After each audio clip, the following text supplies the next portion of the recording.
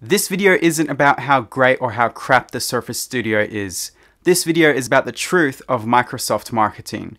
When you see this ad, it pulls at your heart. You want to be more creative.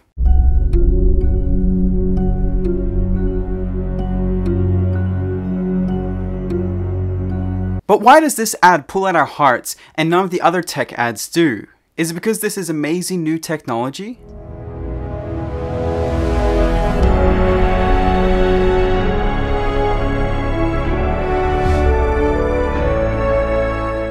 Maybe, but what if it's more detailed than that? Is it the visual they gave us?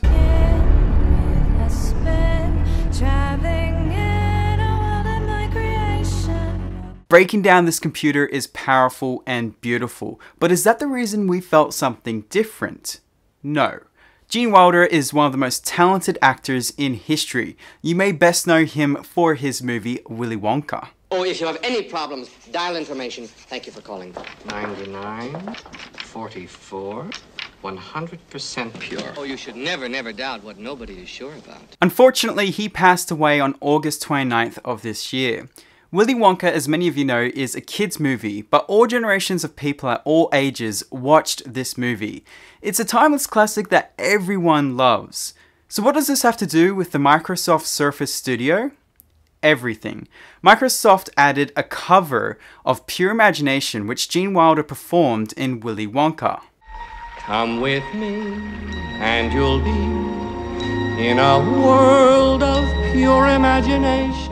This cover is beautiful and respectful, performed by Stephanie Tarling. So when you get Gene Wilder, who had his heart open at all times to sing such a beautiful song that encourages people to be original and to have a pure imagination, it pulls at the heart. What pulled at our hearts was the music that was connected to Gene Wilder, who taught us to have a pure imagination.